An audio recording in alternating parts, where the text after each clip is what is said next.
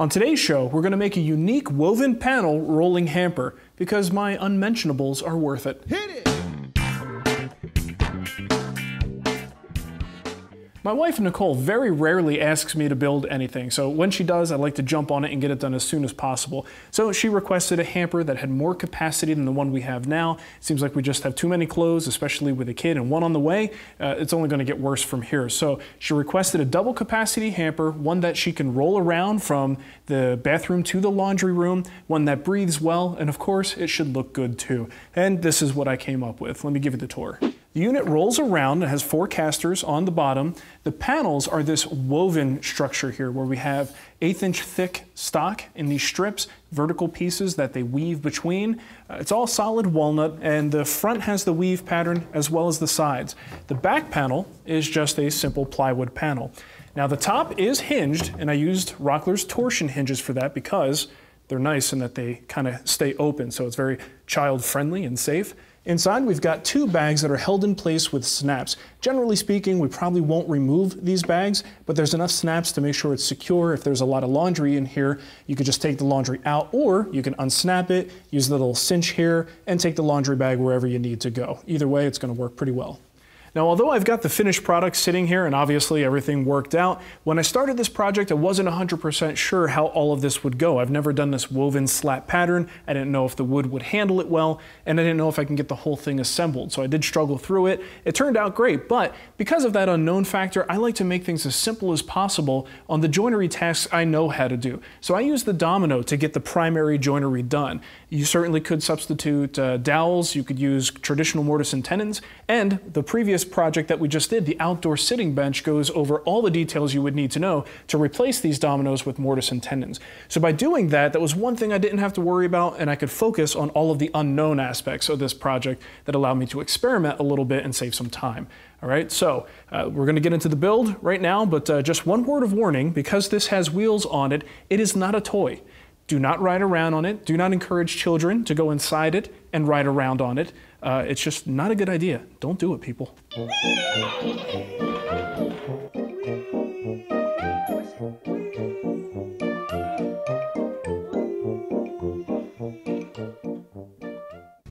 You see this amazing pile of walnut offcuts? Those came from my recent sculpted rocker project that we did in the guild, and it's the perfect pile of material to pilfer for this project. I had to cut down a lot of 8 quarter stock to make 4 quarter frame parts, you might think that's wasteful, but nothing's more wasteful than a board sitting on my shop floor unused.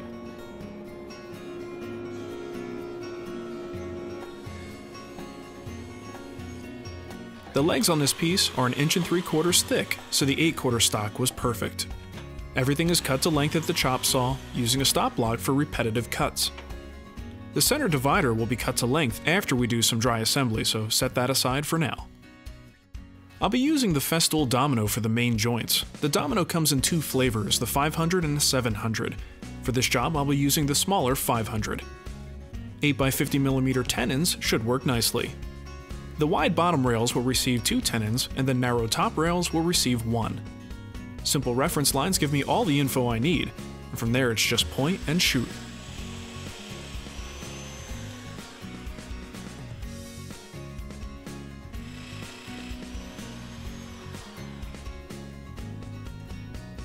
You're looking at 60 mortises cut in just 10 minutes. Now I like to glue my tenons into the rails ahead of time just to make things easier later. And it's time for a dry assembly.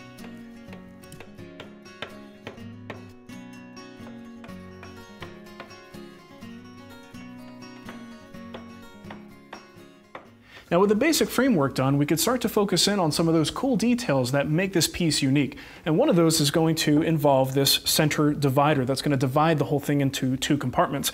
Now we could attach this to the front and back rails using the dominoes, uh, but I want to do something a little bit more fun. This is going to be a visible joint, so it might be cool to do a sliding dovetail. Now, if you've never seen one of those before, all it really takes is a single router bit to do the job, and we'll use the router table. But first, we need to measure for this piece. Now I know the dovetail based on the bit, uh, and the size that I'm working with is gonna go in a half inch into each piece. So I need to cut my center piece at this point, the distance between the front and back rails, and then add a total of an inch. And just a quick tip here, even though this piece is gonna go in the center, take your measurements from the side where you're closest to your joinery, because here we can actually have some movement and things can bow out. All right, so let's uh, take our measurement right over here and make the cut. Don't forget to add an inch. The front and back rails of the hamper will receive the dovetail slot, so I simply mark the center point on both boards. At the table saw, make a single pass right down the center of the rails. This will reduce the amount of stock the router bit has to remove. At the router table, attach a sacrificial fence to the miter gauge using double stick tape. With the bit set to exactly a half inch in height, make a cut right through the sacrificial fence. And this is really the secret sauce for this process because it gives us vital information about the location and the path of the bit. By marking the center point of the cutout, we now have a perfect index line for lining up the center lines of our rails. Because there's a lot of forces at play here, it's essential that we clamp the workpiece to the miter gauge before making the cut. Two clamps should do the trick. The second rail is cut the same way. Now for the center divider, we'll use the same bit at the same height, only now we'll use the fence and a backer board, which will allow us to run the piece vertically. The only way I know to get this perfect is to run a test piece first. After several rounds of test cuts and fence moves, I can safely run my center divider. Now the backer board serves two very important functions. It keeps the workpiece balanced in what would otherwise be a very awkward cut, and it also backs up the wood fibers preventing tear out. Keep in mind that if the fit is tight now, it'll be nearly impossible to assemble when the glue is added and the fibers swell, so adjust the fit accordingly. So now things are about to get really interesting because these weaved panels, not really sure how it's going to pan out. We're going to have one in the front and one on each side. The back is just going to be a flat panel, no need for the weaved pattern there. So I've got this idea in my head. I think it's going to work, but I don't really know for sure. So you'll sort of come along for the ride and we'll make adjustments as we go.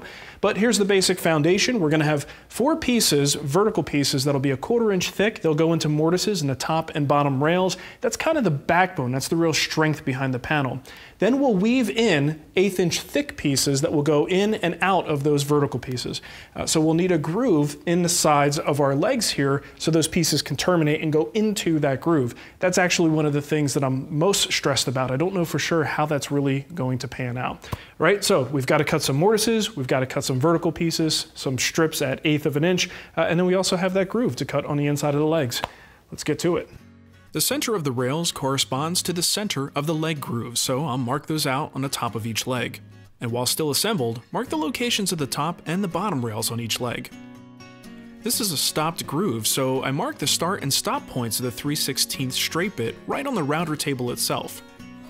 The workpiece is then carefully dropped onto the bit, being careful to line up the line on the leg with the line on the table. Plow the groove until the other line matches up with the line on the table and carefully lift the workpiece off the bit. The rear legs only receive one groove, and the front legs receive two grooves. Remember, the back panel will be made from quarter inch plywood, so let's cut that groove while we're here at the router table since the process is pretty similar. For this, I'll use a quarter inch bit that's made specifically for undersized plywood. Only the rear legs receive this groove. The top and bottom back rails also need a groove for the plywood back, so you can use the router table or consider making two passes at the table saw. We haven't talked much about the lid, but the grooves are very similar to what we did for the back panel, so we may as well cut those now too. Keep in mind the long rails have two start and stop points because of that center divider.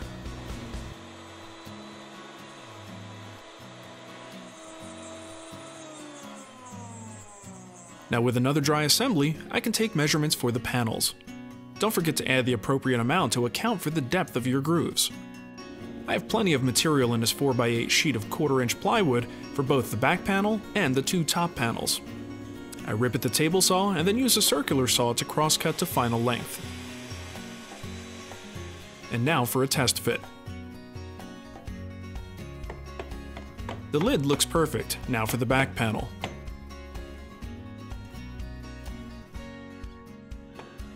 Looking good. Now I've got the entire assembly upside down now because we need to talk about that bottom panel, right? Basically, you're gonna measure to size, account for the fact that we'll be cutting some grooves in these rails and it'll sit in those grooves and we'll notch the corners to go around the legs. The real important thing to think about here is the casters. Now, if you're gonna have a rolling hamper like me, you need to have that bottom panel up high enough to allow this wheel to sit in here and we have to make sure this thing doesn't rub on the ground, or if you change from, let's say, a hard surface to a soft carpet surface, you have enough clearance for it to do that. So I think about a half inch is enough. So with a two and a half inch wheel, the total height is two and a half inches, I'm gonna place my bottom panel up two inches, and that's gonna give me a half inch of exposed wheel that should allow me to get over various different terrains in the house. All right, let's get to it. The half inch Baltic birch panel is cut to size using a circular saw. The corners are marked and then notched at the bandsaw. Now we can use the dado stack at the table saw to cut the grooves in the bottom rails. I use special shims to get the stack to the exact dimension that I need. You'll notice that this cut goes into one of my tenons. That's okay, it'll still be strong enough for the job. With the test fit looking good, we can finally move on to our weave elements. First, we need to cut mortises for the quarter inch thick vertical components. I'm using the hollow chisel mortiser since it makes perfect square-ended mortises. I usually make my mortises with the router, but you can see just how handy this tool can be as it drills a hole while chiseling the hole perfectly square. Because the wood can sometimes push the chisel away, I skip to the end of the mortise and then plunge right to the pencil line. Having wood on all sides of the chisel helps ensure that it plunges straight down. I can then clean out the remaining material. The side rails receive two mortises, and the front rails receive four mortises.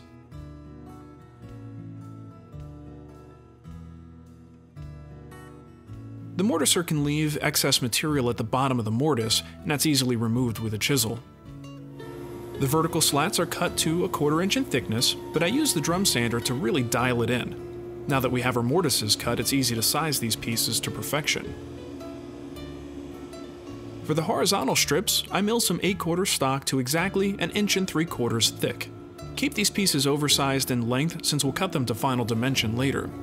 At the bandsaw, I begin slicing the boards to create 8th inch thick strips.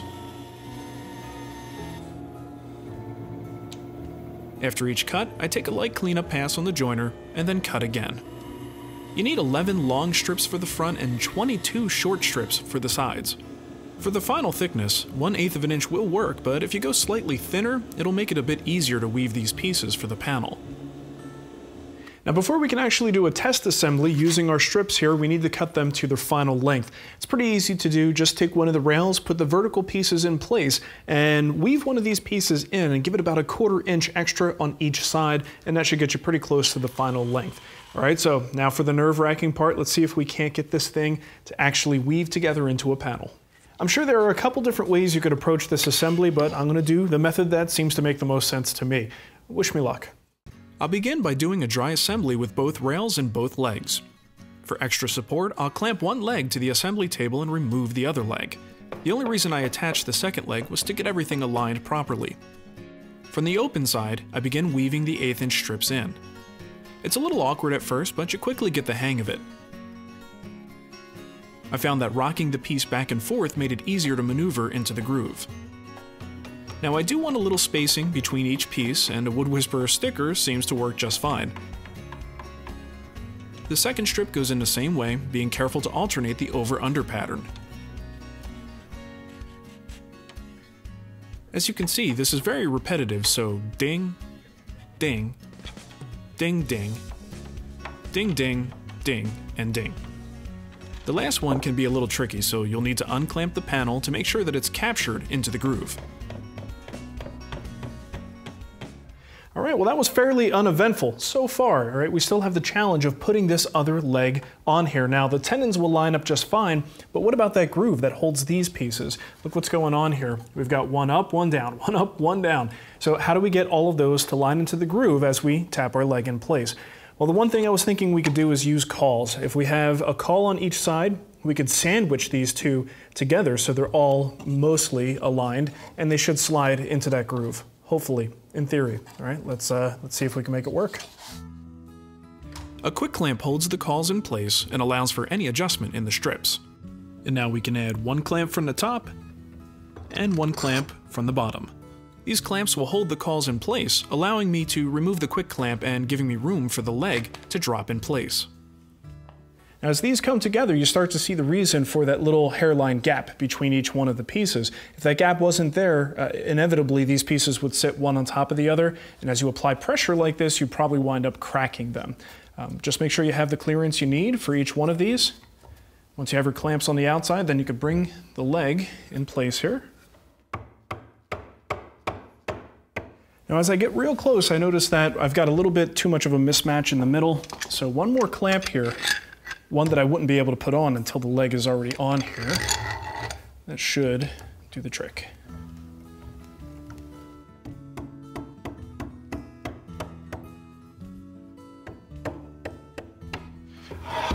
And there we go.